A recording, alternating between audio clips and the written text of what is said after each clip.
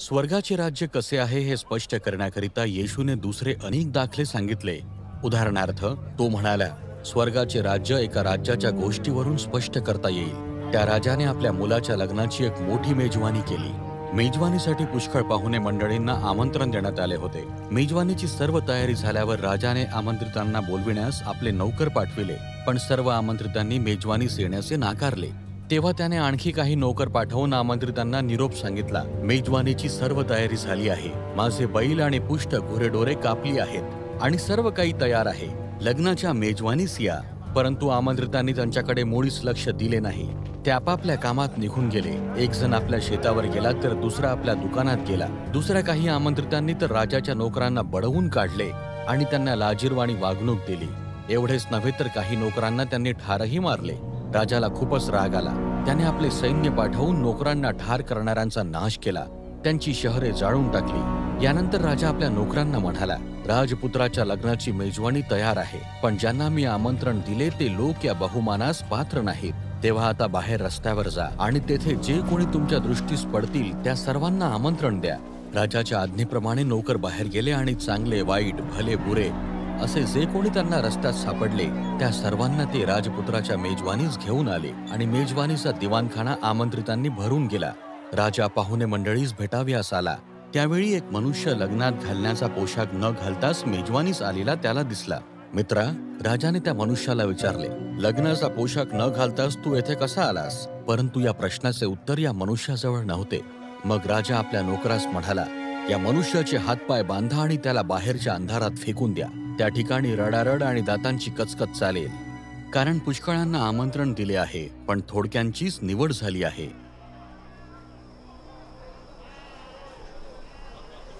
मग परुषी लोक बाहेर गेले आणि त्यांनी आपली एक सभा भरविली.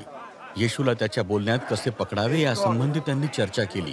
त्यानुसार त्यांनी आपल्यापैकी काही लोकांना हेरुदी या राजकीय पक्षाच्या काही लोकांबरोबर येशूकडे पाठविले आणि त्याला पुढील प्रश्न विचारले. गुरुजी तुम्ही अतिशय प्रामाणिक आहात आणि खरेपणाने देवाचा मार्ग तुम्ही शिकविता. तसेच निपक्षपातीपणे आणि परिणामाची तमा न बाळगता तुम्ही सत्य सांगता हेही आम्हाला माहीत आहे. तर आता आम्हाला हे सांगा की रोमी सरकारला कर देणे योग्य आहे की नाही? पण त्यांचा हेतू काय आहे हे येशूने ओळखले. अहो ढोंगी लोकांनो येशू म्हणाला तुमच्या या कावेबाज प्रश्नाने तुम्ही कोणाची परीक्षा पाहत आहात? मला एक नाणे दाखवा. आणि त्यांनी त्याला एक नाणे दिले. येशूने त्यांना विचारले या नाण्यावर कोणाची मुद्रा आहे? आणि या मुद्रेखाली कोणाचे नाव लिहिले आहे? कैसराचे. त्यांनी उत्तर दिले. मग येशू म्हणाला कैसराचे आहे ते कैसराला द्या. आणि जे देवाचे आहे ते देवाला द्या. त्याच्या उत्तराने ते आश्चर्यचकित झाले आणि मग त्याला सोडून निघून गेले.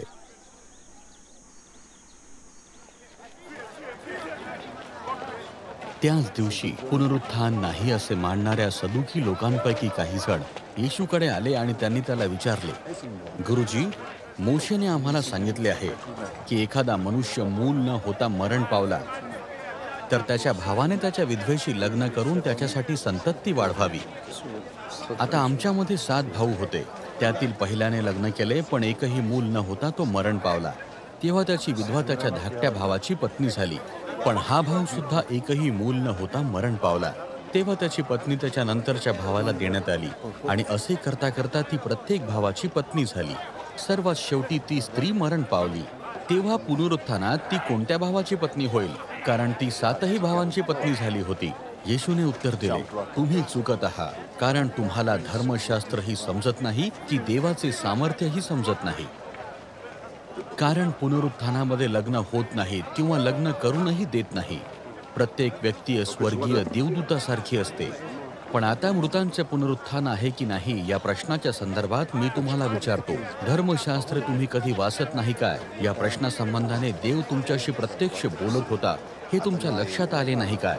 देव तुम्हाला सांगत होता मी अब्राहम इसहाक आणि याकोब यांचा देव आहे. म्हणजेच देव मृतांचा देव नसून जिवंताचा देव आहे. सभोवार जमलेली गर्दी येशूच्या उत्तरांनी विलक्षण प्रभावित झाली. येशूने सदुक्यांना निरुत्तर केले हे परुषांनी ऐकले तेव्हा ते एकत्र जमले. त्यांच्यातील एका नियमशास्त्राच्या तज्ज्ञाने त्याची परीक्षा घेण्यासाठी त्याला हा प्रश्न विचारला गुरुजी मोशेच्या आज्ञांपैकी सर्वात महत्वाची आज्ञा कोणती आहे? येशूने उत्तर दिले प्रभू तुझा देव याजवर पूर्ण बुद्धीने पूर्ण आत्म्याने आणि पूर्ण मनाने प्रीती कर. हीच सर्वात पहिली आणि मोठी आज्ञा आहे. अशीच दुसरीही एक अतिशय महत्वाची आज्ञा आहे. तू स्वतःवर जितकी प्रीती करतोस तितकी आपल्या शेजाऱ्यावरही कर. सर्व आज्ञा आणि संदेष्टांची शिकवण या दोन मूलभूत आज्ञांवरच आधारित आहे. एकदा परुषी लोक येशूभोवती गोळा झाले असताना येशूने त्यांना विचारलं ख्रिस्ताविषयी तुमचे काय म्हणणे आहे? तो कोणाचा पुत्र आहे?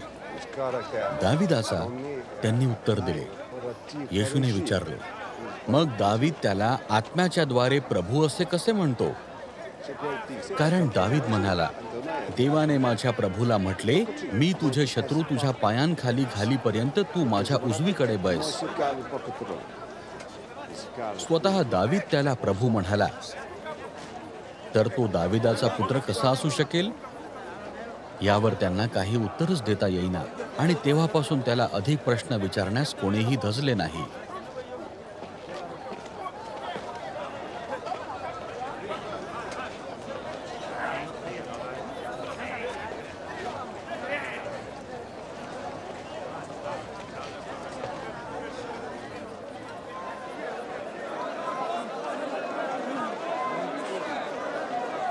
मग येशू जमावाला आणि आपल्या शिष्यांना म्हणाला नियमांवर नियम करणारे हे यहुदी पुढारी आणि परुषी लोक तुम्हाला मोशेचेच अवतार भासत असतील आणि त्यांची प्रत्येक लहर तुम्ही उचलून धरलीच पाहिजे असेही तुम्हाला वाटण्याची शक्यता आहे.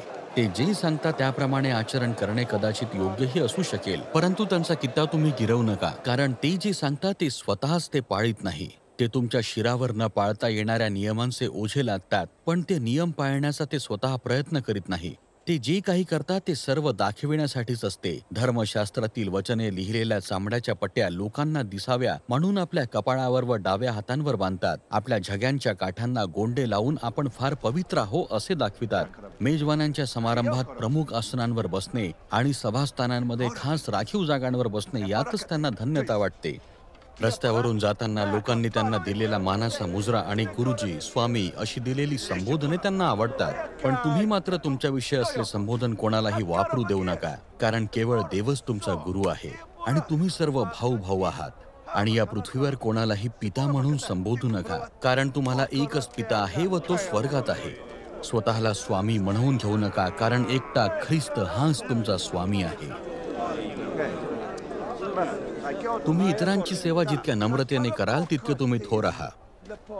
कारण जो कोणी आपणाला उंच करील तो नीच केला जाईल आणि जो कोणी आपणाला नीच करेल तो उंच केला जाईल.